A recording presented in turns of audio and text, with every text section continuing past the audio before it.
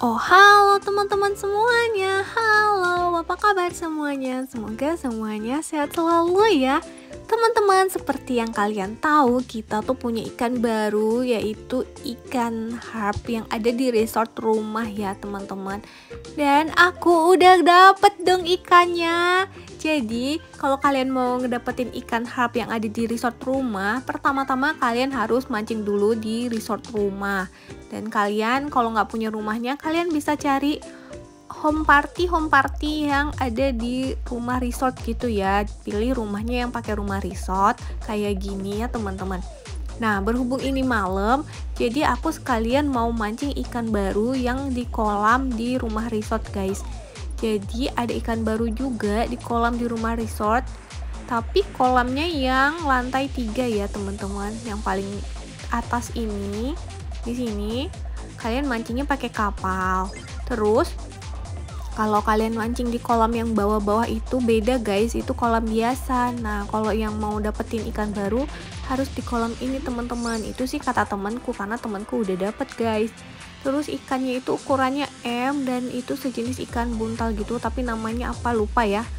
Kalian lihat aja di buku ikan ya teman-teman.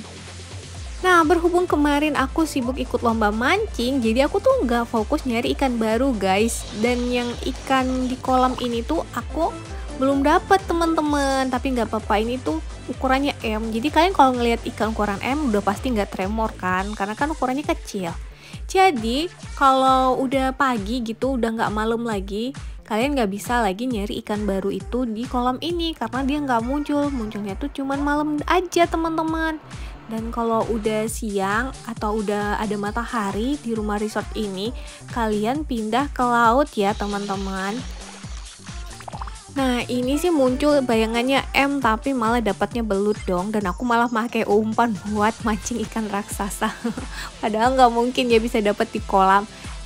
Teman-teman sekarang tuh udah ada muncul matahari dan bakal aku bakal mancing gitu di laut ya guys untuk dapetin harp yang ada di resort. Jadi ikan itu ini tuh khusus cuman ada bisa didapetin di resort ya teman-teman. Dan kalian bisa lihat salah satu resiko kalau kita mancing di rumah orang tuh gitu. Nanti tiba-tiba buka home party, tiba-tiba tutup home party. itu mengganggu aktivitas memancing ya kan. Dan jangan lupa kalian harus lihat jangan sampai kalian mancingnya tuh di pantai seperti yang di kiri atas itu. Ada tandanya kan itu pantai. Jadi di pantai nggak ada harp ya guys. Atau anjing laut deh namanya. Bukan harp guys ikan barunya. Dan di sini kalian mancingnya di tempat rekreasi taman laut ya teman-teman. Nah kalau dari sini kalian stay terus kalian mancing sampai muncul bayangan XL ya teman-teman. Karena ikan barunya ini tuh bayangannya tuh XL ya guys aku mancing terus sampai aku pindah rumah juga dan akhirnya aku dapat bayangan XL dan sayang banget yang ini aku kecepatan mencet karena dia lama banget gigitnya. Aku gak sabaran. Ya resiko ya teman-teman. Mana mungkin sih sempurna banget mancing nggak mungkin ya kan? Nah kayak gini. Tapi yang ini akhirnya ya teman-teman aku dapat ikan ha ternyata namanya tuh anjing laut bintik guys. Tuh cantik banget. Dia tuh pakai bunga gitu di bagian kupingnya. Terus dia ada total-totalnya gitu ada warnanya tuh abu-abu. Dan namanya bukan harp ya tapi anjing laut bintik. Biarpun bentuknya tuh mirip banget sama harp, cuman beda warna aja sih guys. Tapi namanya ini beda ya, anjing laut bintik ya bisa aja sih kita bilang harp yang ada di resort rumah.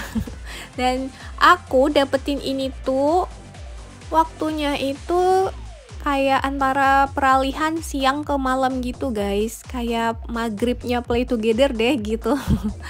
Itu kalau nggak salah tadi aku lihat menit ke 4 48 guys dia muncul. Tapi nggak tahu ya yang lain.